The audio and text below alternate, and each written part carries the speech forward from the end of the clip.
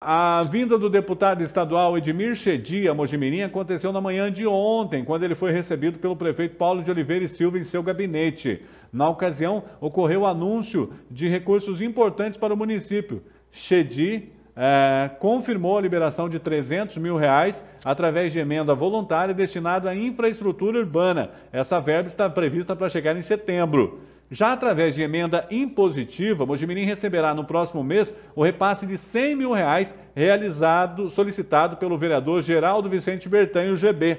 O valor será utilizado para a aquisição de insumos às unidades de saúde, ajudando no enfrentamento à Covid. Essa verba ela foi trabalhada já há algum tempo né, com o deputado, desde o ano passado, em que a gente pedia para ele, entre outras coisas, uma ambulância no valor de 150 mil reais e também uma, algumas verbas para o município trabalhar na infraestrutura. Né? E a gente estava aguardando a liberação dessa verba. E ele esteve pessoalmente ontem no município, conversou com o prefeito para avisá-lo pessoalmente que está destinando 550 mil reais. 100 mil reais é para consumo de é, para as unidades básicas de saúde, né?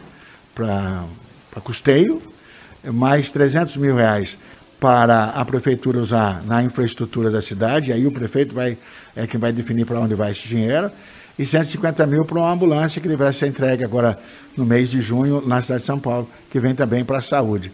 Então são conquistas para a cidade, né, que a gente vinha trabalhando, e como ele é um, um, um deputado do meu partido, do, do DEM, do Democratas, a gente acabou fazendo algumas reivindicações no ano passado. Algumas vieram agora, outras poderão vir né, no futuro.